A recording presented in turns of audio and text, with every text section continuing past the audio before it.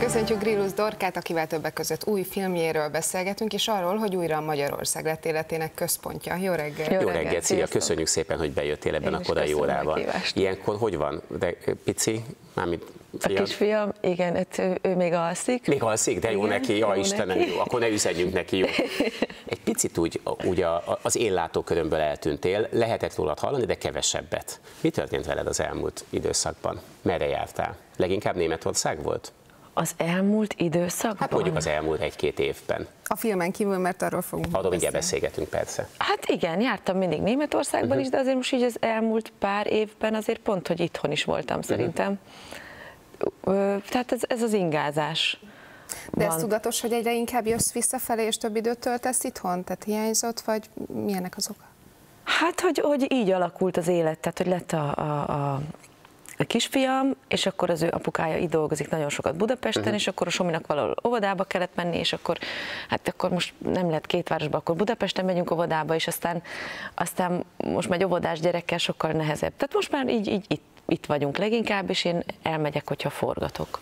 Uh-huh. Ennek a két lakiságnak, amit te csinálsz, ennek mik az előnyei és a hátrányai? Gondolom nagyon hiányzik az itthon, hogyha nem vagy, hogyha pedig itthon vagy, akkor pedig a másik oldalon. Hát az nagyon jó dolog, hogy az ember így ki tud lépni, tehát hogy átlépsz egy ilyen másik mátrixba, és ettől az egész ö, realitás valahogy máshogy van. De ez nagyon izgalmas, ez egy nagyon izgalmas dolog így azért, nem? Ebben. Igen, igen, Ugye? szerintem szuper. Ez Aha. tök jó érzés, hogy kicsit úgy rálátsz, na jó, és akkor úgy, uh-huh. úgy mhm. tudod úgy relativizálni a dolgokat, uh-huh. szerintem az nagyon jó. Hát nehéz, ahogy így, így a mondás mondja, hogy így, így egy seggel két lovat. Aha, igen. Szóval, igen. hogy az ne, egy barátom mondta, hogy akkor itt meglocsolod a káposztát, akkor oda rohansz, meglocsolod a paradicsomot, akkor közben már a káposzta, akkor rohansz Aha. vissza. Hát a két életet Tehát, kicsit így két életet életet próbálsz élni egy élettel, ami, ami hát kettő, igen, egy, kettő, egyel.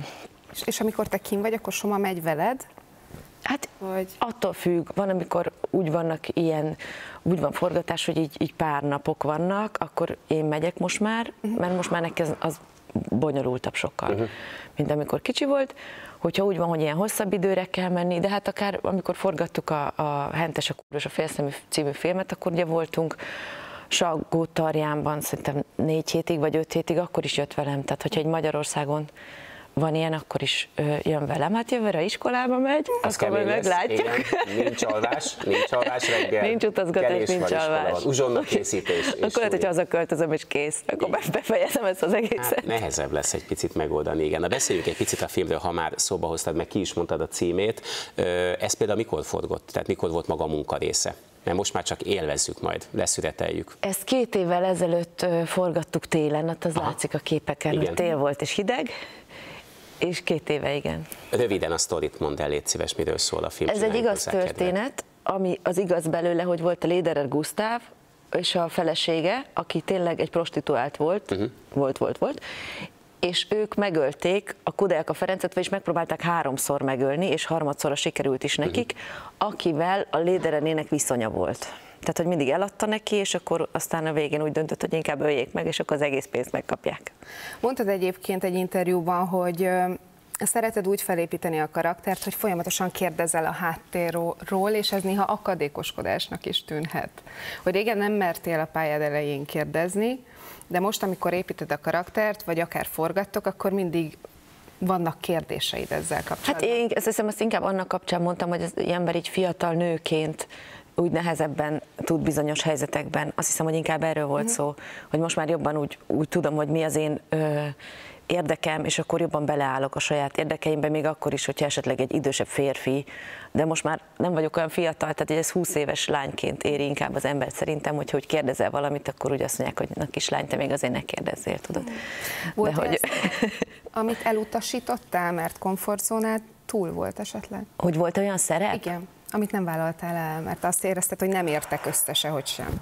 Hát mindig vannak olyan dolgok, ami, amiért az ember úgy érzi, vagy praktikus okokból, úgy, hogy már nem fér bele, vagy esetleg azért, mert úgy érzed, hogy nem tudsz valamelyik részével valahogy azonosulni, vagy egyetérteni, ez előfordul. En, ebben az esetben, amiről beszélgetünk, tehát a film kapcsán konkrétan a te szerepet, hogy tetszett?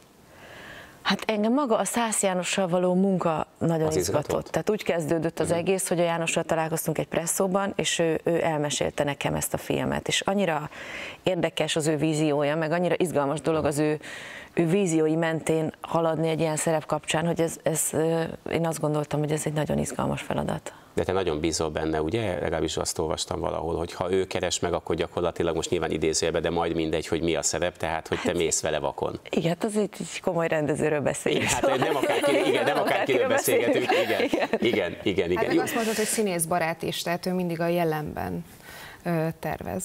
Igen, ez nagyon érdekes volt, hogy a forgatáson, tehát vannak olyan rendezők, tudod, akik így minden snittet előre így kitalálnak, Aha. és akkor annak úgy kell lennie, ami szintén semmi gond nincs vele, de hogy én ezt nagyon élveztem, hogy a János meg nagyon sok dolgot így meglátott a pillanatban, és akkor ami a filmben, tehát a színházban ez nehezebb, hogy ott, tehát a filmben ez egy, ez egy tök jó dolog, amikor ott lehet a pillanatban hirtelen hogy benne lenni, és akkor ahhoz képest alakítja a dolgokat. Ez egy nagyon-nagyon izgalmas sztori, úgyhogy majd nagyon kíváncsi vagyok a filmre. Egy picit lépjünk ki a sztoriból a valóságba. Ö, esküvő várható esküvő? Ezt nagyon sokan kérdezik, hogy nagyon régóta együtt vagytok, úgy tudjuk, hogy Kornél téged feleségként kezel, szólít. Lesz ebből papír, vagy egyébként fontos nektek a papír? Igen. Ha szabad erről beszélgetni, bocsánat. Elvileg mindig mondjuk elvileg igen, majd mindjárt majd összeházasodunk. Majd mindjárt. Igen, Na jó, de hánykor? Tehát, hogy most van 8 óra. majd meglátjuk. Hát majd, majd úgy előbb-utóbb, de még nincs szervezés alatt a dolog. És első a munka. Meg valahogy mindig úgy történik mindenféle más Igen. ügy, és akkor mindig úgy el, elhalasztjuk. Mikor lesz a bemutatója a filmnek? Tudsz erről valamit? Már volt. Már volt. Bocsánat, már volt. Elnézést. Na hát le vagyok oda marad, akkor én viszont be kell, hogy pótoljam a lemaradásomat, és meg kell, hogy nézzem, Igen, és most, nagyon szépen. Most hétvégén volt először a mozikba, úgyhogy akkor már mehetsz holnap akár, Szuper. vagy ma délután. Nagyon szépen köszönjük, köszönjük hogy itt voltál. Hogy itt Én is köszönöm.